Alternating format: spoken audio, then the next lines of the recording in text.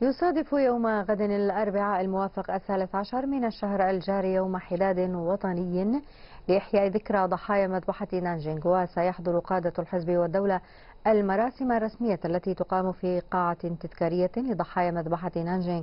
صباح غد الأربعاء وسوف تبث شبكة تلفزيون الصين الدولية مراسم إحياء هذه الذكرى على الهواء مباشرةً